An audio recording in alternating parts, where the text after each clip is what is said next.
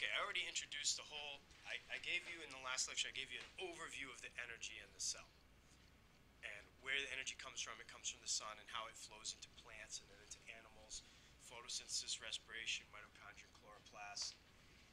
Okay, went over the basic concepts of how bonds are involved in energy. Now today we're going to look at section 4-1 in your book, which focuses on ATP.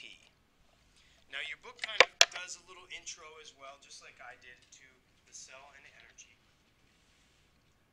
But there's this compound called ATP that, that the book focuses on in the beginning. And the reason is that ATP is used as kind of a, it's kind of a middleman. It's a compound that's going to show up again and again and again in photosynthesis and respiration.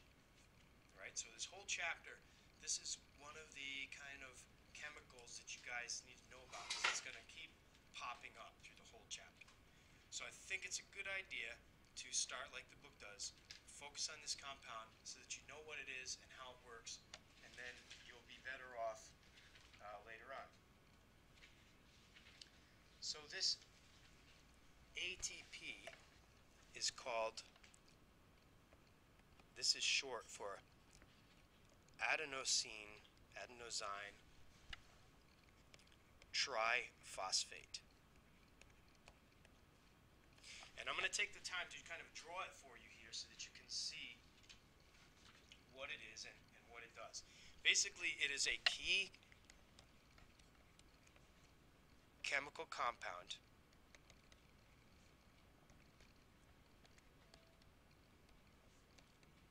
for energy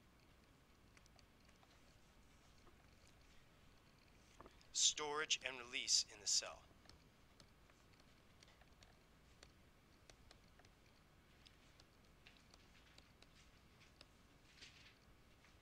So let's look at exactly how this works here.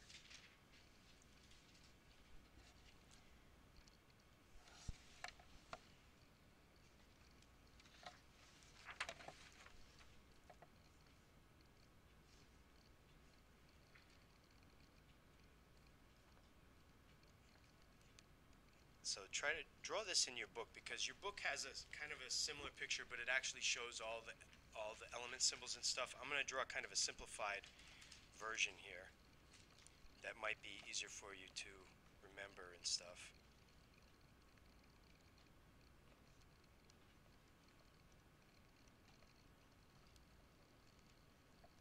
So we got a hexagon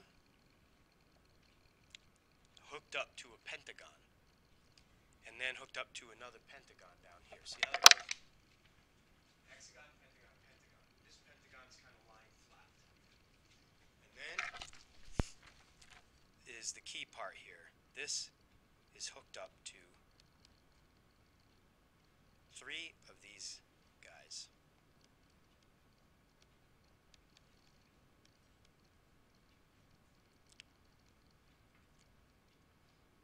I'm not going to ask you to draw this exactly on, you know, on the test or anything, but it's it's important for you to know its structure, to know how it works.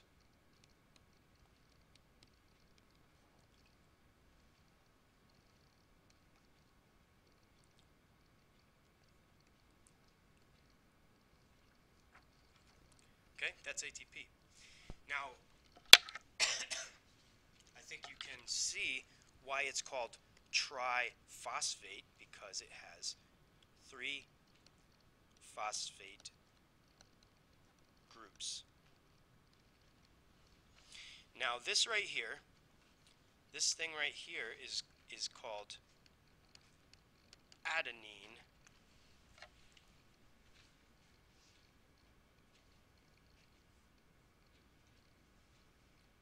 And this one is called ribose. And when you combine those two, you get adenosine. So it's kind of like the adenosine is combining the adenine and the ribose. This os tells me that this is a kind of a sugar, like glucose, fructose, sucrose. It's a kind of sugar.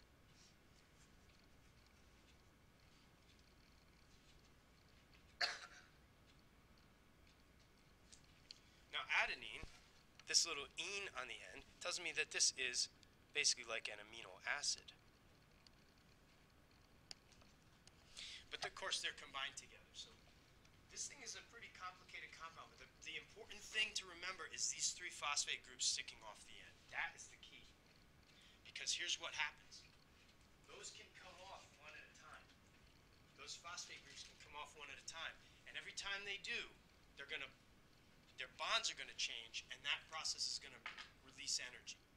So this is like a li- little compound that acts like a little machine that can store up energy and release energy. And it's used all over the place in the cell. When when things need energy in the cell, this guy is coming to provide the energy.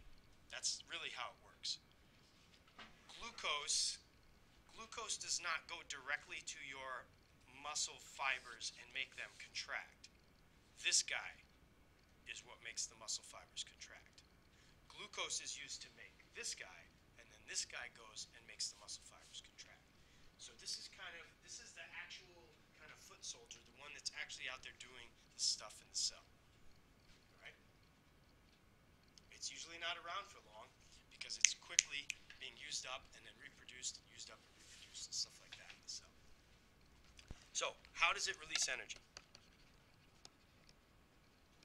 How does ATP release energy?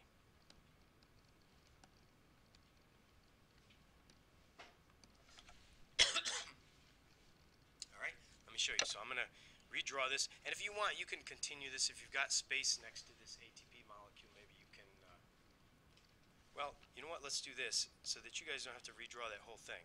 Let's take this and we'll go like this, okay? Carry this around here. And we're going to add something. We're going to add water to it. Now, if we add water, here's what is going to happen. Now, let me draw that water out so that you can remember what it is. It's a water molecule, looks like that. It's got one oxygen and two hydrogen, right? And then there is a reaction that takes place. See, this isn't a very stable molecule, really, and it, it wants to break apart like this. Those, those bonds are not very tight. Those phosphate bonds are not very tight. So this thing is going to break down with the water. ATP reacts with water. And when it does, here's what you get. You get this stuff is all unchanged. So the basic body of the molecule is all the same. Okay, that's all exactly the same. Um, but here's what's going to change. Instead of three phosphates on the end now, I'm only going to have two.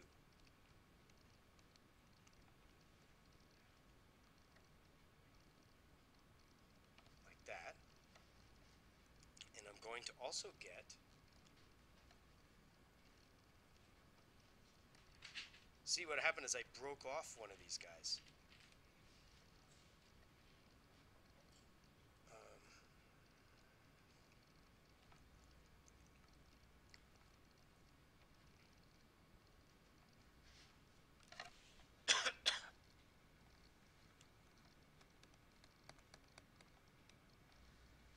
So I'm gonna give you a minute to write that, to, to copy that all down, because the book does not show this reaction, and that is one of my big problems with the way the book does it. Is it doesn't actually show you the reaction. I think it's important to show you why.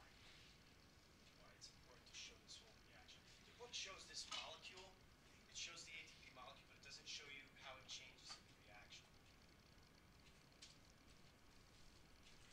So ATP, adenosine triphosphate, reacts with water. What you looking at? What?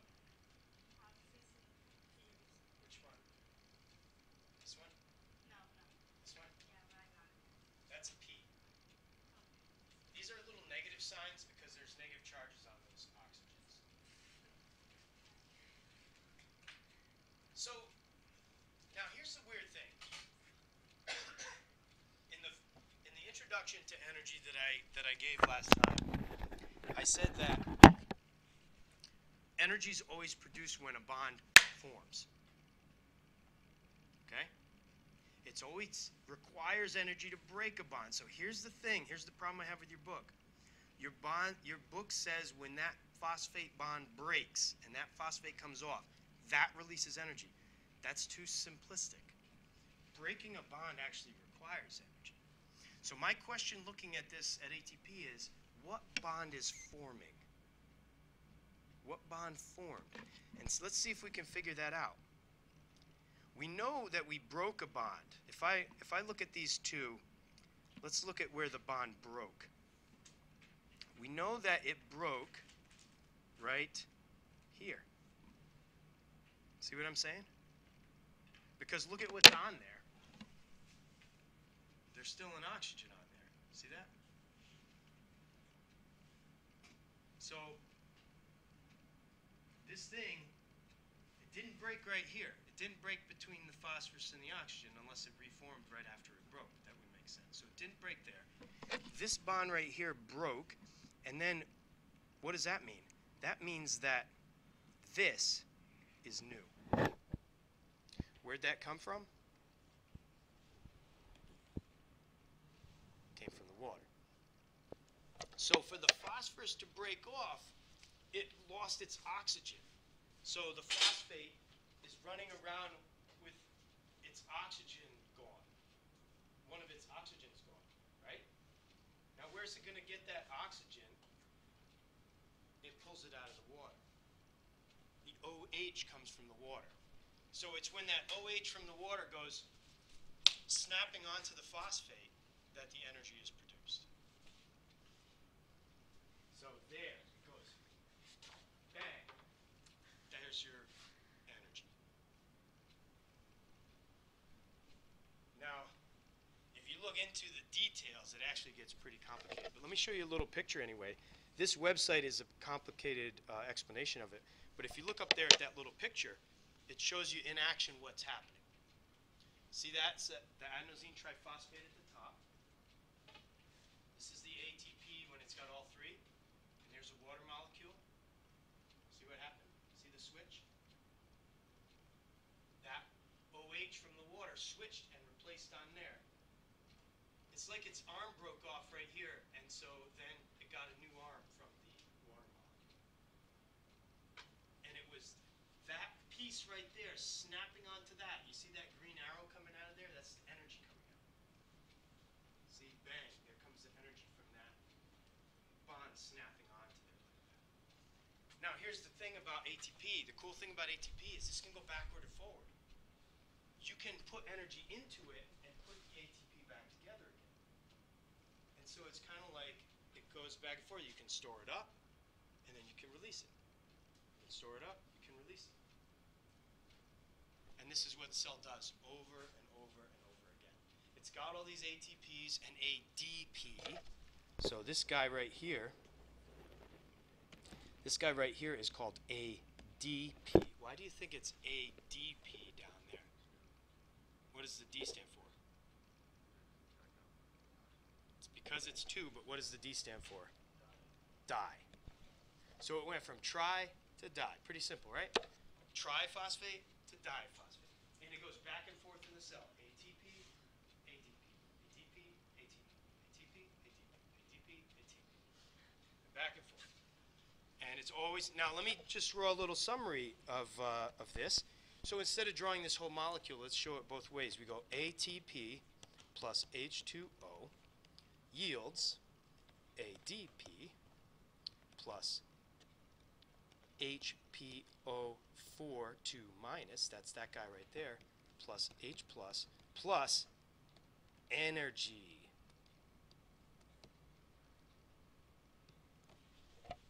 Okay, write that down. Again, your book does not cover this process, this chem- chemical reaction, and it just leaves it as kind of a black box, and it's just kind of misleading too. So.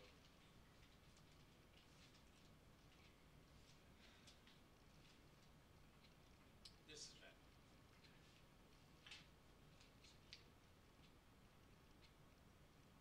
ATP, ADP.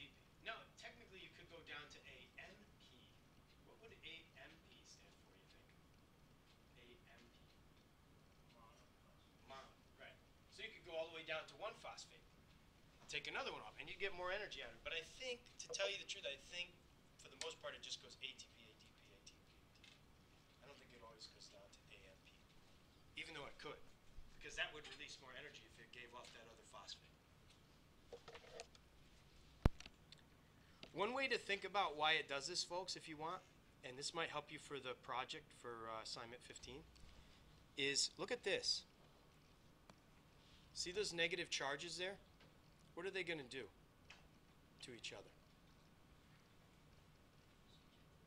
They're going to push each other away, right? So look at ATP.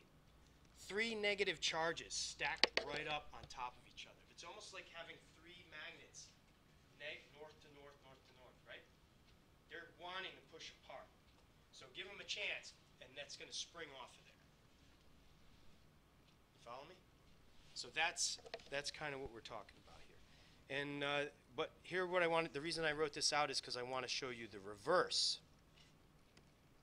And in reverse, because it can happen in reverse too, and we'll see both going on when we get into respiration and photosynthesis. In reverse, I just draw it backwards, just like I did before with respiration and photosynthesis. Energy plus H plus. What is this? What is this thing right here all about? H plus. You guys seen that before? Makes you think of something, doesn't it? When you see that, it's positive. That's true. It is the source of what? What? Mm, It is hydrogen. I'm thinking it starts with an A. I'm thinking of a word. Acidity. Acids contain H plus ions. Okay? Now, when we were talking about all the acid stuff back then in chapter two, I said there's a reason we focus on acids so much because they're so important biologically. This is one reason, folks, right here. The pH of your blood, the pH of your cells is very important, and this is one reason. I mean, this thing is the key player in the whole energy budget, energy budget of your cell. Okay, what does this become? This simply becomes. Whoop, hang on, what did I do here? Did I do this right? Nope. Plus ADP makes ATP and water. So in this case, I'm absorbing energy, whereas I was making energy. Okay? That's ATP in a nutshell. Now, what does it do? Well, this guy can come along to say, and your book does talk a little bit about this part. Um, let's say I have an enzyme. Some enzymes uh, require energy. Or we talked about active transport, for example. Enzymes, protein pumps for active transport. All sorts of different things that require energy. ATP comes along and it kind of they call it a coupled reaction. It will actually like sometimes like touch. It will join the enzyme or the protein and do a, complete a reaction with it that releases this energy kind of passing the energy to the ener- to the the enzyme. It passes energy to the enzyme so that it can do its job Maybe the enzyme's job is to break apart a sugar molecule or lactose or something like that. And maybe it needs energy to do that. So this thing will come along, touch the enzyme, pass its energy along, and bam. Okay? Or, like I said, your muscle fibers, for example. The ATP is actually going to come in there, pass that energy